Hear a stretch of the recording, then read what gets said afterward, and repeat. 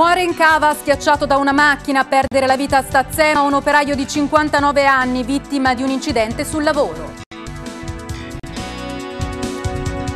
Al via i lavori al campo Coni, dopo tanti anni di attesa ha aperto il cantiere per il rifacimento della pista di atletica Moreno Martini, dureranno quattro mesi. Occupazione a rischio, l'allarme della CGL, previsioni negative del sindacato, rischiamo una ricaduta peggiore della prima ondata. Lucchese ostaggio del Covid-19, altri 5 positivi in casa rossonera che porta il totale a 13 e in forte dubbio la disputa della partita di domenica prossima ad Olbia. Nelle prossime ore, nuovo giro di tamponi. Bentrovati a questa edizione del TG Noi, lo avete sentito anche dai nostri titoli in apertura oggi il tragico incidente che si è verificato a Stazzema in una cava del Marmo, ha perso la vita un operaio di 59 anni. Sentiamo Luigi Casentini. Un operaio di 59 anni, Andrea Figaia, è morto a causa di un incidente sul lavoro alla cava Borra Larga nel bacino marmifero del Monte Corchia, sopra le Vigliani. Il dramma è successo a metà giornata. Secondo quanto ricostruito dai soccorritori, l'uomo è rimasto schiacciato tra un macchinario Fantini da galleria, una macchina che si manovra tramite telecomando, e la parete rocciosa, riportando uno schiacciamento addominale purtroppo fatale. L'allarme è stato lanciato dai colleghi di lavoro sconvolti per l'accaduto. Sul posto sono intervenute l'automedica di Querceta, un'ambulanza, i vigili del fuoco, i carabinieri, il soccorso alpino e i tecnici della prevenzione sul lavoro della ASL. L'uomo era residente ad Avenza, a Carrara. La notizia si è diffusa rapidamente, generando sconcerto e cordoglio nel mondo del marmo. La vittima, peraltro, un omonimo di Andrea Figaia, segretario provinciale della CISL. Alla cava, una volta appresa la notizia dell'incidente, si è recata anche la segretaria generale della Fillea CGL di Lucca. Le sigle sindacali hanno indetto uno sciopero del settore sia del comprensorio versiliese che di quello massese per l'intera giornata di giovedì. Siamo sotto shock, devo dire la verità, in questo momento siamo sotto shock. E la mattina eh, si va a lavorare e, e si pensa la sera di tornare a casa, non si pensa di tornare a casa dentro una bara, quindi sono fortemente provata perché conosco benissimo l'azienda, conosco i colleghi di lavoro e questa cosa mi, mi lascia veramente insomma, un, un grosso segno addosso. Eh, voi indirete uno sciopero? Sì, indiremo uno sciopero come Fillea, Filca e Feneal, quindi Fillea CGL, Filca CIS e Fenea Will, domani, matti, domani tutta la giornata di domani, quindi uno sciopero di otto ore. La Cava Teatro della Tragedia è una delle eccellenze del comprensorio apuano, soprattutto per quanto riguarda la sicurezza sul lavoro. Adesso saranno gli uomini dell'Ispettorato della Sicurezza a stabilire le cause di questa tragedia. Non ci risulta che avesse problemi di sicurezza, e, quindi diciamo, andrà verificata ovviamente la dinamica e per questo ci sono gli organi preposti, però eh, diciamo, noi da un punto di vista sindacale come filiera CGL eh, assistiamo i lavoratori, seguiamo i lavoratori, veniamo spesso qua a fare le assemblee e, e ci era sempre sembrato di aver trovato una situazione positiva. Ovviamente questa tragedia insomma, eh, dovrà essere verificata dagli organi preposti perché è successo. Veniamo adesso agli aggiornamenti riguardo ai nuovi casi di positività al coronavirus. Continuano a crescere i numeri in Toscana, sono 1708 i nuovi contagiati, 987 i ricoverati, ovvero 64 in più rispetto a ieri, in terapia intensiva sono ricoverate 130 persone, 11 in più rispetto alla giornata di ieri e oggi purtroppo si registrano anche 7 decessi, l'età media è di 82,3 anni. Veniamo al, al, dettaglio dei casi nella nostra provincia di Lucca dove i nuovi casi sono 142, 62 fanno riferimento alla Piana con 36 casi a Lucca, 18 a Capannori, 4 ad Altopascio, 2 a Porcari e 2 a Pescaglia, 36 casi fanno riferimento alla Valle del Serchio, ovvero 4 positività a Bani di Lucca, 2 a Barga, 5 a Borgamozzano, 6 a Camporgiano, 1 a Castelnuovo, 1 a Castiglione, 4 a Coreglia, 3 casi a Gallicano, 2 a Minucciano, 5 a San Romano e due a Sillano Giuncugliano e uno a Villa Colle Mandina. 44 casi invece sono da riferire all'area della Versilia con 5 nuovi positivi a Camaiore, 2 a Forte dei Marmi, 12 a Massarosa, 3 a Pietrasanta, 1 a Serravezza, 2 a Stazzema e 19 casi a Viareggio. E anche la Lucchese è duramente colpita dal Covid-19, infatti si registrano altri 5 casi di positività. Si tratta di 4 calciatori e un elemento dello staff tecnico. Quindi eh, i cinque nuovi casi si aggiungono agli altri otto già registrati nei giorni scorsi, portando il totale dei positivi all'interno della squadra a 13. Adesso, a proposito di emergenza coronavirus, sentiamo l'appello del Presidente della Regione Toscana, Gianni, riguardo alle donazioni di plasma. Quello che io faccio è un appello noi ci stiamo trovando ad affrontare un'emergenza sanitaria senza precedenti e sapete che in questo momento la questione fondamentale è seguire e curare negli ospedali i malati che sono stati contagiati dal Covid. Eh, vi è un problema di donazioni del sangue, quindi il mio appello a donare il sangue per loro. Naturalmente sono in una situazione particolare, quindi il sangue per i malati Covid è un sangue che fa i conti col fatto che vi siano presenza di anticorpi che hanno eh, nel corpo del donatore sconfitto il Covid. Io sono convinto che eh, ce ne sono molti, perché da marzo ad oggi sono tante persone che hanno vissuto la patologia del Covid-19 e che l'hanno sconfitta.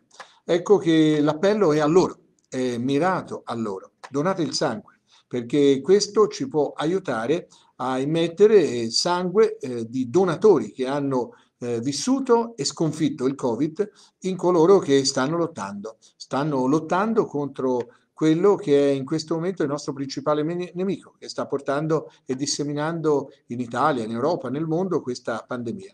Quindi un appello perché si doni il sangue da parte di coloro che hanno avuto il Covid in eh, virtù della necessità di avere sangue con anticorpi Covid che possa essere utilizzato. Per far questo io vi invito a fare un numero che leggo lentamente perché possa essere annotato. È quello che risponde al servizio che offre la Regione Toscana per questo 055 43 85 860. Ripeto 055 43 85 860. Cambiamo decisamente pagina e parliamo dei lavori che sono iniziati alla pista di atletica al campo sportivo Moreno Martini. Sentiamo Silvia Toniolo. Dopo tanti anni di attesa sono iniziati i lavori per il rifacimento della pista di atletica Moreno Martini. Dureranno circa quattro mesi e dunque, secondo l'auspicio dell'amministrazione comunale, saranno conclusi in tempo per la ripartenza della stagione sportiva 2021. L'intervento, reso possibile con la partecipazione del Comune al bando realizzato dal CONI nell'ambito del Fondo Nazionale Sport e Periferie per 612 mila euro e con il cofinanziamento della Fondazione Fondazione Cassa di Risparmio di Lucca per 140.000 euro servirà a ristrutturare completamente l'impianto delle tagliate, punto di riferimento di tanti sportivi lucchesi e non solo. Beh, questo è un momento complesso, però è, la progettualità che è stata messa in campo è una progettualità che si rivolge agli anni futuri, si rivolge al momento in cui si potrà di nuovo fare sport attivo con un concorso di molte persone, si rivolge alle prospettive che la città ha di ospitare grandi avvenimenti sportivi all'interno di questi impianti e quindi all'interno della nostra città perché lo sport è un grande veicolo economico eh, per, come ricaduta per il contesto in cui gli avvenimenti avvengono e soprattutto però mi preme eh, ribadire un concetto che eh, le società sportive sono luoghi educativi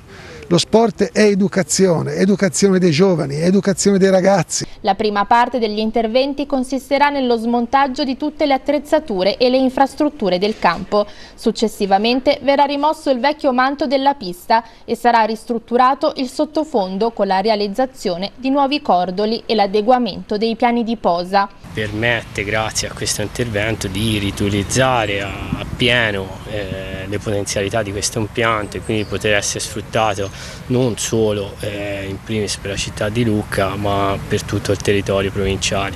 Questo quindi comporta anche sotto un profilo prettamente agonistico eh, la possibilità eh, di ritornare appieno di quelle che sono le potenzialità eh, per le competizioni anche soprattutto in ambito FIDAL. E la CGL lancia l'allarme, va bene tutelare la salute ma il rischio è di perdere anche molti posti di lavoro. Sentiamo il servizio. Servono misure per garantire non solo la salute ma anche l'occupazione. Con la chiusura nei settori della cultura e dello sport e con la drastica riduzione del lavoro per bar e ristorazione si rischia di ricadere ai periodi di aprile e maggio e di tornare ad avere oltre 30.000 persone in cassa integrazione Secondo le stime della CGL, le conseguenze della semichiusura questa volta potranno essere anche peggiori. I settori del turismo e dei servizi, secondo il sindacato, pagheranno il conto più alto della crisi dopo una stagione estiva fortemente compromessa a causa delle restrizioni, per non parlare degli oltre 7.000 stagionali, 4.000 solo in Versilia, che si sono trovati senza lavoro. E la nostra preoccupazione è che anche a questo giro si rivada sugli stessi numeri. Ecco, diciamo che oltre la metà dei cassa integrati sono lavoratori di quel settore lì, turismo, commercio e servizi. In questo momento, per fortuna, è stato prorogato il blocco dei licenziamenti a livello nazionale, quindi fino alla fine di gennaio non, nessuno sarà licenziato. Il problema vero è che specialmente nel settore del turismo, ma anche nel commercio, tanti lavoratori stagionali che venivano chiamati a fare la stagione non sono stati neanche chiamati. In provincia di Lucca il settore cartario ha salvato molti lavoratori grazie alla produzione della carta anche ad uso sanitario. Sì, è quello che ha permesso alla nostra provincia di pagare un prezzo meno alto, sempre comunque importante, ma meno alto nel settore degli occupati diretti. Adesso ci spostiamo a Firenze perché c'era anche una nutrita delegazione di imprenditori del comparto dei pubblici esercizi proveniente dalle province di Lucca e Massa Carrara alla manifestazione promossa da FIPE e Confcommercio e tenutasi questa mattina in Piazza Duomo. Tappa toscana di un'iniziativa su scala nazionale che ha coinvolto 18 città e altrettante piazze all'insegna dell'hashtag Siamo a terra. Una protesta nata sulla scia dell'ultimo DPCM firmato dal Presidente del Consiglio Giuseppe Conte che che, come noto, ha imposto la chiusura dei pubblici esercizi alle 18. Una quarantina gli imprenditori partiti dalle province di Lucca e Massa Carrara e guidati dal presidente interprovinciale di Confcommercio Rodolfo Pasquini e dal direttore Sara Giovannini. Adesso passiamo al DL Ristori, è stato approvato ieri ma già ha scatenato numerose polemiche. A parlare è Confartigianato Lucca che dice le risorse sono del tutto insufficienti. Sentiamo il servizio. Mezzi di contenimento scarsi e contraddittori, questo è il duro commento di Confartigianato Lucca al decreto Ristori approvato lo scorso 27 ottobre dal Consiglio dei Ministri. 5,4 miliardi di euro, secondo l'associazione, sono insufficienti per supportare le piccole e medie imprese messe in ginocchio dall'emergenza sanitaria. Solo nella provincia di Lucca sono circa 10.000 gli artigiani e i piccoli imprenditori che nei mesi scorsi hanno adottato, sopportando nei costi, le misure di contenimento dei contagi previste dai protocolli per la sicurezza sicurezza in molti casi dopo aver dovuto chiudere completamente la loro attività per lunghe settimane. Il problema è sui criteri con cui vengono dati diciamo, questi eh, soldi. Noi non abbiamo mai chiesto interventi a pioggia, ma le chiediamo in base alla riduzione effettiva del fatturato che hanno avuto le aziende. Mm, sicuramente questi soldi penso che non basteranno perché le aziende interessate sono son tante. La ricetta della ripresa secondo Confartigianato deve passare da una migliore gestione delle risorse evitando dispersioni e oltre all'impegno dello Stato, secondo l'associazione, serve il sostegno dei comuni che devono trovare misure adeguate per rilanciare le imprese del proprio territorio.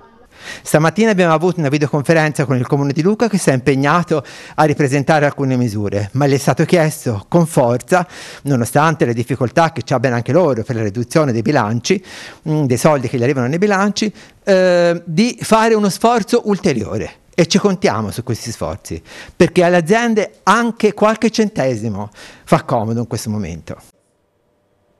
Il Consiglio Comunale di Lucca ha dato il via libera alla variante urbanistica per la realizzazione del nuovo parcheggio ad Antraccoli nelle vicinanze della scuola primaria Monsignor Guidi. La zona in questione risulta infatti carente di posti auto, soprattutto durante il periodo scolastico e in particolare negli orari che coincidono con l'entrata e l'uscita dei bambini dalla scuola. L'intervento servirà contemporaneamente a realizzare un parco giochi attrezzato che risponderà alle della scuola Monsignor Guidi. Adesso cambiamo pagina perché l'Unione Comuni Garfagnana si è aggiudicata un contributo regionale per i nuovi piani urbanistici. Ci racconta tutto Guido Casotti.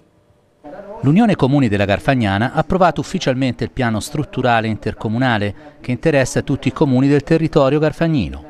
Il progetto ha permesso all'ente di risultare primo in graduatoria, ottenendo così un contributo di 225.000 euro dalla Regione, da spendere per la stesura dei piani operativi intercomunali nei comuni della Garfagnana. Un riconoscimento importantissimo della Regione Toscana che individua in questo progetto un progetto pilota che tiene insieme tutti i comuni della Garfagnana, che dà un ruolo importantissimo all'Unione in un'idea di sviluppo nuovo della Garfagnana legata alla lettura del suo territorio. Questo è successo grazie al contributo di tutti i sindaci in una visione finalmente unitaria che ci dà forza e ci dà la possibilità di una lettura unitaria di tutto il territorio della Garfagnana da un punto di vista urbanistico e da un punto di vista della sicurezza del territorio. Quindi potremo fare delle scelte concrete sul territorio tutti insieme. Infatti, grazie a questo bando, tutti i comuni dell'Unione potranno aggiornare i loro piani urbanistici e lo potranno fare risparmiando molti soldi. Basti pensare che mediamente questa operazione ha un costo che si aggira sui 70.000 euro. Grazie a questo bando invece ogni comune potrà risparmiarne circa 50.000, mantenendo ogni singolo ente la propria autonomia decisionale. Altro aspetto importante sarà anche quello di concepire nuovi piani regolatori in armonia con gli altri comuni e con il territorio. Sarà quindi quello che disciplinerà il territorio per tutta la Garfagnana e per tutti i comuni. Ogni comune avrà suo, la sua parte di piano operativo e insieme sarà un piano operativo generale per tutti i comuni. E prosegue la mappatura della città per l'app Lucca senza barriere. Gli studenti di alcuni istituti superiori sono coinvolti fattivamente in un vero e proprio censimento dell'accessibilità, non solo della nostra provincia ma in realtà di tutto il territorio nazionale. Il progetto si rivolge a chiunque, non solo a persone con, disabilità ma anche a chi soffre di allergie, intolleranze alimentari e ancora a tutti i neogenitori che hanno interesse a scoprire preventivamente se un locale, un ristorante dispone di seggioloni e menù adatti ai più piccoli. Adesso torniamo sulle polemiche che riguardano le previsioni a tutela della salute, in particolare il mondo della cultura e dello spettacolo, chiede considerazione. Il settore rischia infatti di subire un brutto colpo da questa seconda ondata di coronavirus e in un video il produttore, l'attore lucchese Alessandro Bertolucci ci fa un quadro della situazione.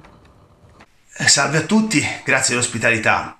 Eh, mi chiedete di commentare gli effetti del DPCM sul nostro settore?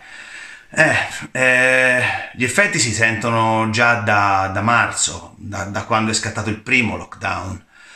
Eh, questo è un secondo lockdown, è inutile chiamarlo semi-lockdown, per il nostro settore è un secondo lockdown. Forse, anzi, è il primo che continua perché il settore dello spettacolo non ha mai recuperato posizioni.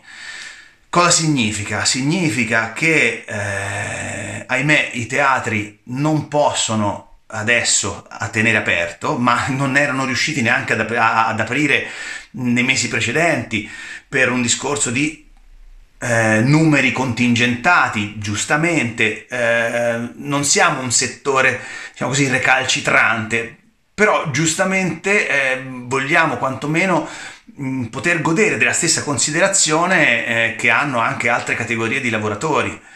Mm, il momento è difficile per tutti, non, non si può far finta così di, di, di non vederlo, è difficile per tutto il mondo.